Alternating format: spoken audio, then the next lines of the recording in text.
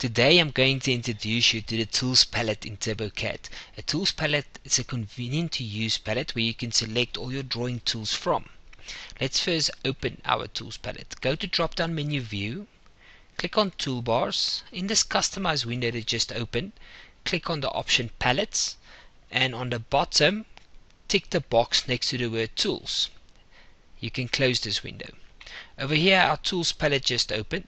First thing, make sure that it's switched to Sketch. Sketch is for your 2D drawing tools. Right next to the word Sketch is a little red toolbox, um, which is called Palette Options. Make sure that that is switched to Icons and Tips. That is so you can see the picture as well as have the word for a description. On the top right, next to the Close button, is a little pin.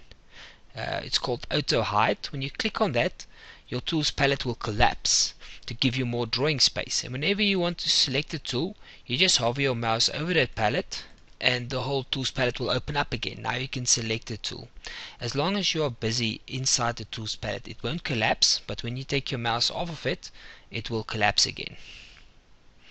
Now inside the tools palette you'll see these are all toolboxes and when you click on any one of these toolboxes you can select any tool inside the toolbox Look at that little arrow on the right hand side points upwards and when I click on it it will point downwards to show me that there are drop downs available and all these drop downs are tools that's available to you.